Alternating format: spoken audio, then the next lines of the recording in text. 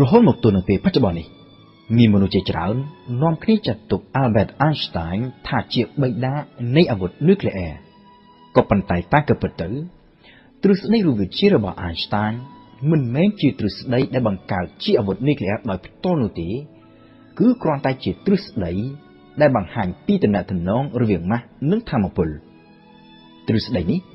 ត្រូវបាន Einstein រកឃើញនៅឆ្នាំ1905 ហើយដែលសរុបជារួមតាមរយៈរូបមន្តដ៏ល្បីល្បាញនៅទូទាំងពិភពលោកមកទល់នឹងពេលបច្ចុប្បន្នគឺ E ស្មើនឹង mc ការ៉េដែលនៅក្នុងនេះ E គឺជាធម្មពល m គឺជាម៉ាស់ចំណែក c គឺល្បឿននៃពន្លឺតាមរយៈរូបមន្តនេះ Einstein បង្ហាញឲ្យឃើញពីភាពសមមូលរវាងធម្មពលនិងម៉ាស់ហើយលើពីនេះទៅទៀតដោយសារតែធម្មពលវាគឺជាផលគុណរវាងម៉ាស់និងការ៉េនៃពន្លឺ ហើយពន្លឺមានល្បឿនយ៉ាងលឿនដូច្នេះម៉ាស់នៅក្នុងបរិមាណដ៏តិចតួចមួយក៏អាចបង្កើតទៅជាធម្មពលដ៏សម្បើមបាននោះដែរនេះហើយ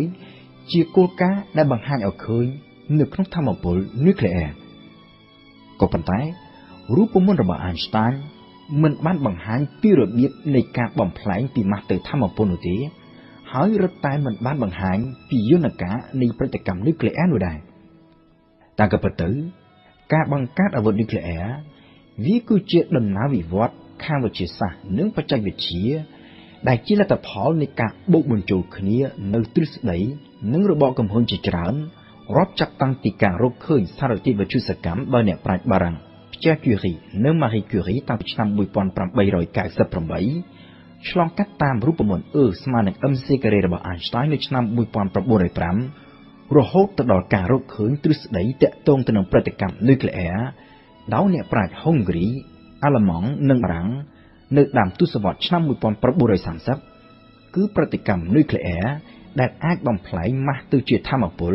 និងបង្កើតជាកម្លាំងផ្ទុះនៅក្នុងយន្តការដែលគេប្រើសម្រាប់ផលិតអាវុធនុយក្លេអ៊ែរដូច្នេះបាននិយាយខាងផ្នែកវិទ្យាសាស្ត្រទ្រឹស្ដីរបស់ Einstein គ្រាន់តែជាចំណែកមួយប៉ុណ្ណោះនៅក្នុងដំណើរវិវត្ត ឆ្ពោះទៅការបង្កើតអាវុធនុយក្លេអ៊ែរអ្វីដែលកាន់តែសំខាន់គឺទូនាទីរបស់ Einstein ខាងផ្នែកនយោបាយនិយាយឲ្យចំគឺសកម្មភាពរបស់ Einstein នៅក្នុងការជំរុញឲ្យអាមេរិកបង្កើតគម្រោងផលិតអាវុធនុយក្លេអ៊ែរតាមរយៈលិខិតផ្ញើជូនទៅលោកប្រធានាធិបតី Franklin Roosevelt នៅឆ្នាំ1939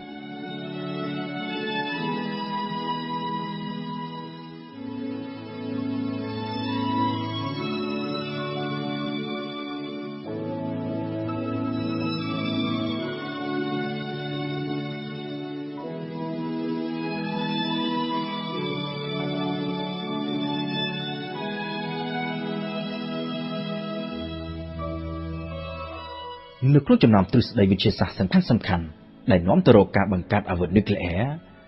ទ្រឹស្ដីដ៏សំខាន់បំផុតមួយគឺប្រតិកម្មនុយក្លេអ៊ែរហើយអ្នកវិទ្យាសាស្ត្រដ៏ល្បីឈ្មោះជាងគេនៅក្នុងការរកឃើញទ្រឹស្ដីនេះគឺអ្នកប្រាជ្ញខាងរូបវិទ្យាមកពីហុងគ្រីឈ្មោះថា Leo Szilard Leo Szilard គឺជាមិត្តភក្តិរបស់ Einstein ហើយក៏ជាអ្នកវិទ្យាសាស្ត្រដែលរត់ភៀសខ្លួនចេញពីពួកណាស៊ីទៅជ្រកកម្មនៅសហរដ្ឋអាមេរិកដូចជា Einstein ដែរ។ នៅក្នុងអំឡុងឆ្នាំ1939 Leo Szilard បានស្វែងទៅជួប Einstein ដើម្បីប្រាប់ពីបញ្ហាសំខាន់ចំនួន2ទី1គឺអំពីទ្រឹស្ដីរបស់លោកស្ដីពីប្រតិកម្មនុយក្លេអ៊ែរដែលអាចបង្កើតទៅជាក្របបែកប្រឡាយលោក និងទី2ទៀតគឺអំពីការរកឃើញសារធាតុអ៊ុរ៉ានីយ៉ូមនៅក្នុងប្រទេសកុងហ្គោដែលនៅពេលនោះជាដែនអាណានិគមរបស់បែលហ្ស៊ិកហើយសារធាតុអ៊ុរ៉ានីយ៉ូមនេះអាចនឹងត្រូវអាល្លឺម៉ង់ ប្រមូលទិញដើម្បីយកទៅផលិតជាអាវុធនុយក្លេអ៊ែរលទ្ធភាពដែលហ៊ីតលែរអាចនឹងមានអាវុធប្រឡាយលោកនៅក្នុងដៃវាគឺជាក្តីបារម្ភដ៏ធំបំផុត ដែលធ្វើឲ្យអ្នកវិទ្យាសាស្ត្រទាំងពីររូបសម្រេចថាពួកគេត្រូវតែប្រាប់ប្រធានាធិបតីអាមេរិកឲ្យបានដឹងអំពីរឿងនេះហើយនៅពេលនោះអ្នកប្រាជ្ញដែលមានកេរ្តិ៍ឈ្មោះល្បីល្បាញកម្រិតអន្តរជាតិអាចមានឥទ្ធិពលតាក់ទាញចំណាប់អារម្មណ៍ប្រធានាធិបតីអាមេរិកបាន គឺ Einstein នៅខែតុលាឆ្នាំ1939នៅក្នុងពេលដែលសង្គ្រាមលោកលើកទី2ទើបនឹងឆាបឆេះឡើងនៅអឺរ៉ុបលិខិតរបស់ Einstein ត្រូវបានបញ្ជូនទៅដល់សេតវិមានហើយនៅក្នុងលិខិតនេះ Einstein បានប្រាប់លោកប្រធានាធិបតី Roosevelt ទៅតាមដំណើររឿងដូចអ្វីដែល Leo Szilard បានប្រាប់គឺលទ្ធភាពនៃការយកអ៊ុយរ៉ាញ៉ូមទៅផលិតជាក្របែកតាមរយៈប្រតិកម្មនុយក្លេអ៊ែរហើយក្នុងពេលជាមួយគ្នា Einstein ក៏បានលើកឡើងផងដែរថានៅក្នុងពេលនោះអ្នកវិទ្យាសាស្ត្រអាល្លឺម៉ង់ប្រហែលជាកំពុងតែសិក្សាទៅលើការផលិតអាវុធប្រភេទថ្មីនេះហើយបានជំរុញឲ្យលោកប្រធានាធិបតី Roosevelt ប្រម៉ែប្រមូលអ្នកវិទ្យាសាស្ត្រនៅអាមេរិកសិក្សាលើគម្រោងនេះដើម្បីពិនិត្យលទ្ធភាពផលិតអាវុធនុយក្លេអ៊ែរឲ្យបានមុនហ៊ីធ្លែប្រមាណជា3សប្តាហ៍ក្រោយមកលោកប្រធានាធិបតី Roosevelt បានផ្ញើលិខិតតបទៅ Einstein វិញដោយនៅក្នុងលិខិតនោះ ក្រៅពីបានអរគុណ Einstein លោកប្រធានាធិបតីអាមេរិកបានប្រាប់ទៅ Einstein ថាលោកបានរៀបចំឲ្យមាននៅក្រុមការងារនៃវិទ្យាសាស្ត្រដើម្បីសិក្សាលើគម្រោងផលិតអាវុធនុយក្លេអ៊ែរក្រុមការងារនេះបានជួបប្រជុំគ្នាជាប្រការជាលើកដំបូងតាំងពីថ្ងៃទី21ខែតុលាដោយមានការចូលរួមពីសំណាក់នៃវិទ្យាសាស្ត្រដែលជាជនភៀសខ្លួនពីពួកណាស៊ីជាពិសេសគឺ Leo Szilard អ្នករកឃើញប្រតិកម្មនុយក្លេអ៊ែរ និងជាអ្នកដែលផ្ដួចផ្ដើមគំនិតជាមួយ Einstein ក្នុងការសរសេរលិខិតទូលោកប្រធានាធិបតី Roosevelt ការសិក្សារបស់ក្រុមអ្នកវិទ្យាសាស្ត្រនេះហើយដែលបង្កើតចេញទៅជាគម្រោងដែលគេឲ្យឈ្មោះថា Manhattan Project ហើយដែលផលិតបានទៅជាគ្រាប់បែកនុយក្លេអ៊ែរលើកដំបូង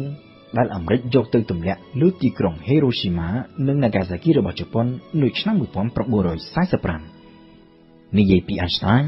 ផ្ទុយពី Leo Szilard និងអ្នកវិទ្យាសាស្ត្រជាជនភៀសខ្លួនពីណាស៊ីផ្សេងទៀត Einstein មិនបានចូលរួមនៅក្នុងគម្រោងផលិតអាវុធនុយក្លេអ៊ែរនេះទេ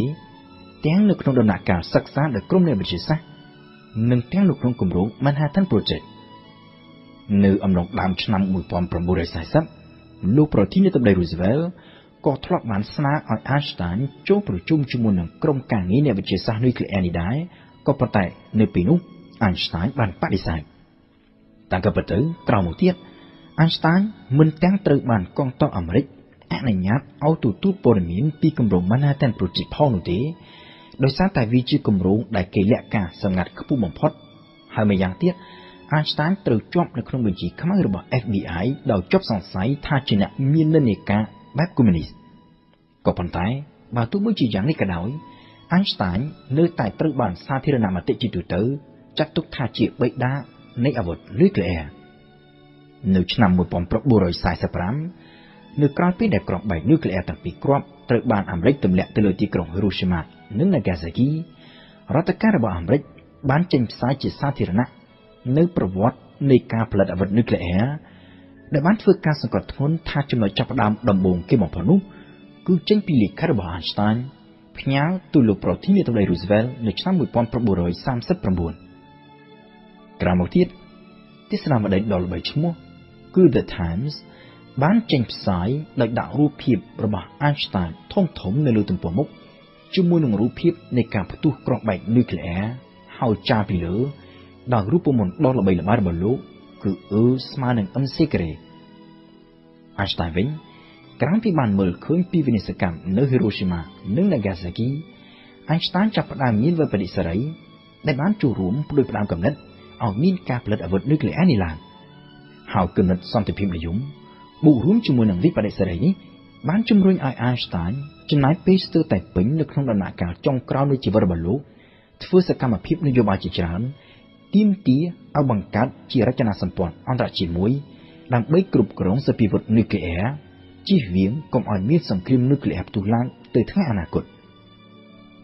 នៅក្នុងក្តីបារម្ភពីវិនាសកម្មដែលបង្កឡើងដោយសង្គ្រាមនុយក្លេអ៊ែរនេះហើយដែល Einstein បានបន្សល់ទុកនៅពាក្យសម្ដីដ៏ល្បីល្បាញមួយឃ្លា ថាខ្ញុំមិនដឹងថាតើសង្គ្រាមលោកលើកទី3គេច្បាំងគ្នាដោយប្រាសពិវុធអ្វីខ្លះនោះទេ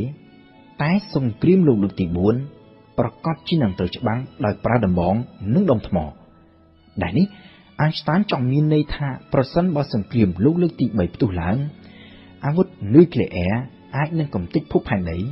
ធ្វើឲ្យមនុស្សជាតិយើងវិលត្រឡប់ទៅរកយុគសម័យបុរេប្រវត្តិវិញជាមិនខាន។